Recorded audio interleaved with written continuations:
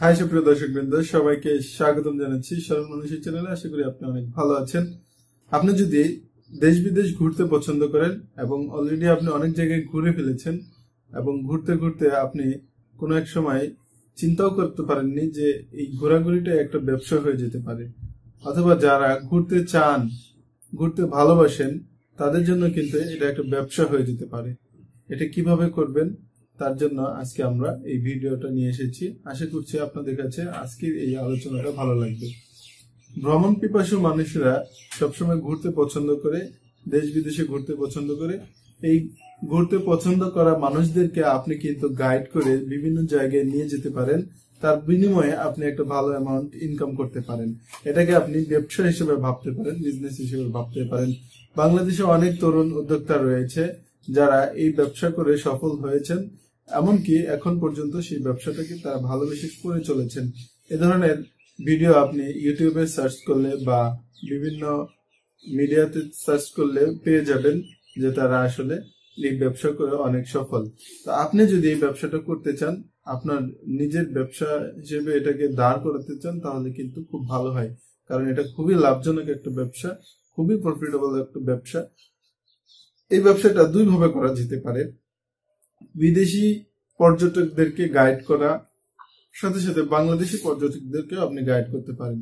বাংলাদেশ সরকারের পক্ষ থেকে এবং বেসরকারি ভাবে বিভিন্ন ধরনের প্রতিষ্ঠান রয়েছে যারা বাংলাদেশের দর্শনীয় স্থানগুলোকে পরিচিত পরিচিত করিয়ে দেওয়ার জন্য উদ্যোগ নিয়েছে এবং অনেক দিন যাবৎ সেই ব্যাপারে কাজ করে আসছে। তো আপনি এই ব্যবসাটা শুরু করে দিতে পারেন। এই ব্যবসা যেহেতু সরকারিভাবে বিভিন্ন দর্শনীয় স্থান পরিচয় করিয়ে দেওয়ার জন্য অনেক উদ্যোগ নেওয়া হয়েছে। সেক্ষেত্রে আপনি এই ক্ষেত্রে আপনি বেশি একটা সমস্যায় পড়বেন না, কারণ দেশের যত দর্শনীয় স্থান রয়েছে, তারা কিন্তু নানানভাবে বিদেশি পর্যটক এবং বাংলাদেশি পর্যটকদের কাছে তুলে ধরছে। তো সেই ব্যাপারটা নিয়ে আপনার এত চিন্তা করা দরকার নেই যে দেশের কোথায় কোথায় দর্শনীয় স্থান আছে, এগুলো তো আমি চিনি না। কিন্তু আপনি কিন্তু বাংলাদেশ পর্যটন অ্যাসোসিয়েশন বা বাংলাদেশ পর্যটন মন্ত্রণালয়, তাদের ওয়েবসাইটে গেলে কিন্তু আপনি এই ধরনের অনেক তথ্য পেয়ে যাবেন। বাংলাদেশে কত দর্শনীয় স্থান রয়েছে। তো সেখানে যেহেতু আপনি ঘুরতে পছন্দ করেন, তাই আপনাকে আর এগুলো নতুন করে বলার কিছু নয় আপনি অবশ্যই জানেন কোথায় কোথায় কি কি ভালো স্থান রয়েছে। আপনি বিদেশি পর্যটকদেরকে আপনার এই ট্রাভেল এজেন্সির মাধ্যমে আহ্বান করতে পারেন। আপনি আপনার একটা নিজস্ব ব্যক্তিগত ওয়েবসাইট খুলে নিতে পারেন। সেখানে আপনি বাংলাদেশের বিভিন্ন দর্শনীয় স্থান ঘুরতে গেলে একটা ভালো অ্যামাউন্টের বাজেট আপনি দিয়ে রাখবেন যে আমি এত টাকা বা এত ডলারের মধ্যে আপনাকে এখানে এখানে ঘুরাবো এতদিন এতদিন রাখব। মানে আপনি ধরেন কক্সবাজার ঘুরবেন, তিন দিন ঘুরলে আপনি এত টাকা চার্জ করবেন, ছয় দিন ঘুরলে এত টাকা চার্জ করবেন, সুন্দরবনে পাঁচ দিন থাকলে এত টাকা চার্জ করবেন। এইভাবে করে আপনি যে কোনো বাংলাদেশের যতগুলো দর্শনীয় স্থান রয়েছে, সবগুলোই একটা তালিকা করে ফেলুন এবং সেই অনুযায়ী আপনি কত টাকা চার্জ করবেন তার একটা তালিকা করে ফেলুন। আর এই চার্জের মধ্যে অবশ্যই আপনার সব ধরনের খরচ বাদ দিয়ে তারপর আপনার একটা প্রফিট রাখতে হবে দেন আপনি আপনার ব্যবসাটা মানে এভাবে করে শুরু করে দিতে পারেন।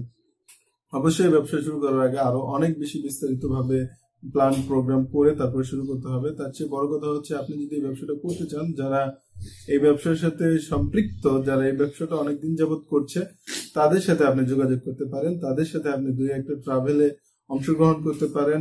তারা কীভাবে তাদের এই ট্রাভেলটা ম্যানেজমেন্ট করে সেটা যদি আপনি ভালোভাবে খেয়াল করেন, দুই একটা ট্রাভেলে তাদের সাথে যেয়ে, তাহলে কিন্তু আপনি খুব সহজেই ব্যবসাটা শুরু করতে পারবেন।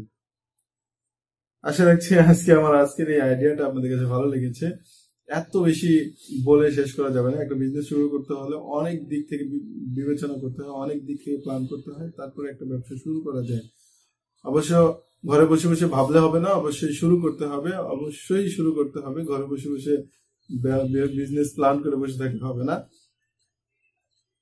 যেদিন থেকে শুরু করবেন, সেদিন থেকে আপনার একটা নতুন অভিজ্ঞতা শুরু হয়ে যাবে। একদিন ব্যবসা করলে একদিন অভিজ্ঞতা হবে দুই দিন করলে দুই দিন অভিজ্ঞতা হবে। সেই দুই দিনের অভিজ্ঞতা কিন্তু আপনাকে সামনে এগিয়ে নিতে সাহায্য করবে। এত বেশি কথা বলব না, এত বেশি বকবগানি করব না। আশা করছি আজকে মতো আজকের আলোচনাটা আপনাদের কাছে ভালো লেগেছে। সবাই অনেক ভালো থাকবেন, সুস্থ থাকবেন। সকলের সুস্বাস্থ্য কামনা করে আজকে মতো বিদায় নিচ্ছি। খোদা হাফেজ।